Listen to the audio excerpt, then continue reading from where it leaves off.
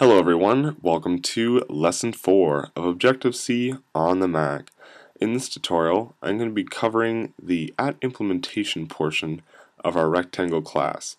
So previously, uh, we worked with the at interface section, which basically uh, defines all the instance variables that we're going to use, and basically the name of the function or method with its parameters. So that's pretty much all the at interface section does. It kind of just sets up what the method will look like. But the at implementation portion is actually what we're going to do with our methods. So to start out, um, just get familiar with the methods we have. We have set height, set width, and set height width. So those are the methods that we're going to have to explain how they work.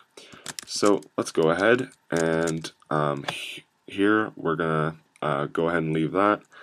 And that's the start of our first method. So set height is the first method that we want. So let's go ahead autofill that. And here we just create two curly braces to say inside this method, this is the code that we're going to execute. So we have one parameter here, new height, which when we use this in our um, in our code, we want to assign whatever value new height is to height. So all we're going to do is height gets new height. So simple enough. The next part, we're just using, um, we're just setting the width. So set width, and uh, that's pretty much that. And it works the same way. We're just passing whatever new width is. So width is going to get this new value. Width gets new width.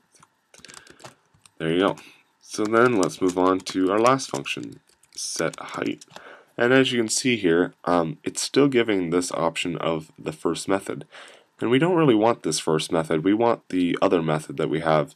We don't really want to keep typing and finding um, until we get to that next method.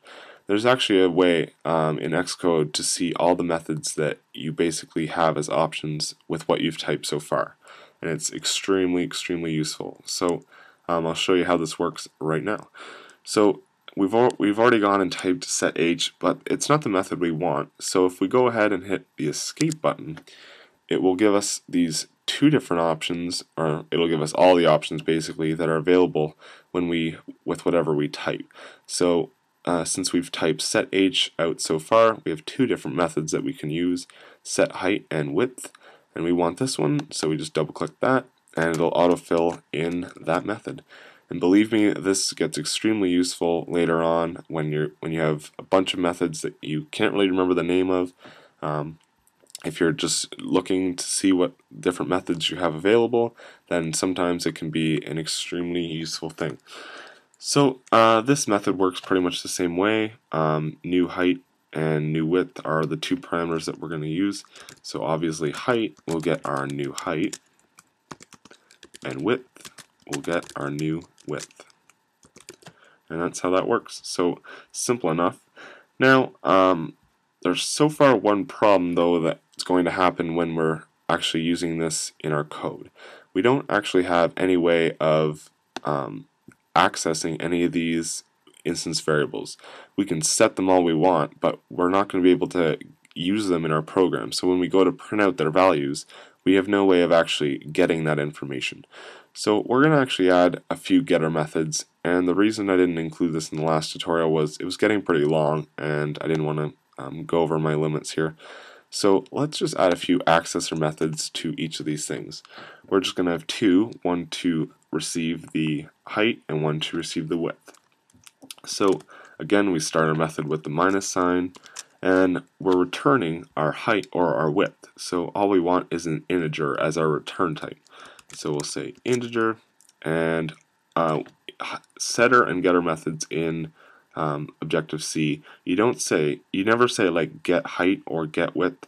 That's just not an Objective C thing. Um, when you're using getter methods in Objective C, you simply use the name of um, the variable itself. So something like this, int height. And that's as complicated as it gets. You never say, you never want to say get height because that is um, just something different altogether. So when you're um, when you're using your accessor methods, just call them the actual parameter that you're using when you're um, the one that you want to return, basically. And it works uh, fine the way it does. So um, that's all we have to do to have two accessor methods to return the value of height and width. So we've created them on the face value in our interface file, but let's go back to our implementation and say what they're going to do. So let's go a few things down here, and let's just write out um, the thing that we had before. So we just copied what our method was in our interface file, and um, we're just now we're just explaining what this function is going to, to going to do.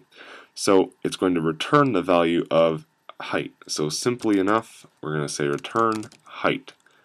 And that's pretty simple. I mean, it doesn't get much more complicated than that.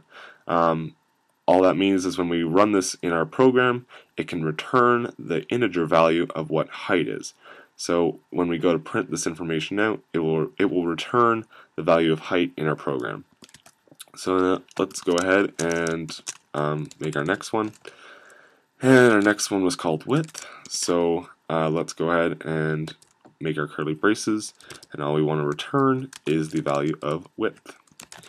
So there, we just made our two getter methods. And now when we run our, or when we use these in our program, uh, if we want to print out the value of height, all we have to call is our height method, and it will return the value of height. So that's um, pretty much all we have to do for our at implementation and our at interface files for now. Um, we'll definitely be learning more on these things. They're certainly not done with, but um, that's all of what we're going to be learning right now.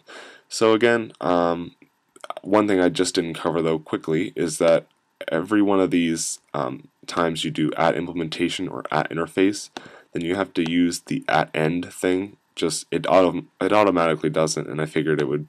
It's kind of obvious, I guess, but um, I better cover it anyway, or people might be yelling at me.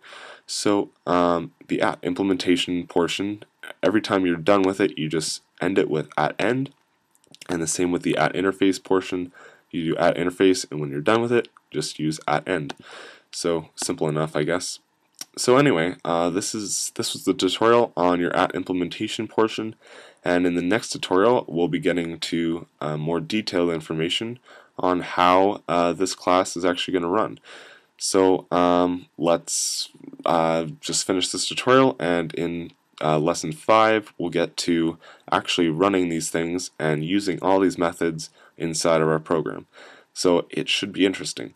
So anyway, uh, if you have any questions, just leave them in the comments below or send me a message via YouTube. And uh, if you have anything else, you can visit the channel. And uh, yeah, so that's about it. Thumbs up the video if you enjoy, and please subscribe to the channel. See you next tutorial.